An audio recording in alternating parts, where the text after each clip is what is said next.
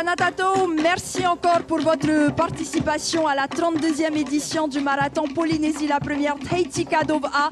Vous êtes 111 engagés, toutes catégories confondues. Merci beaucoup, Marururua.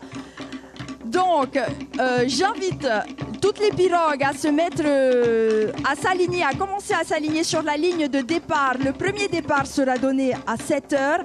Les seniors dames, les juniors garçons, les vétérans plus de 40 ans, les vétérans plus de 50 ans, mais aussi les équipages mixtes. On vous demande de vous mettre en place et s'il vous plaît, soyez disciplinés. On demande aux bateaux suiveurs de leur laisser et de leur céder leur place. Ensuite, prochain départ du top 20 à 7h15.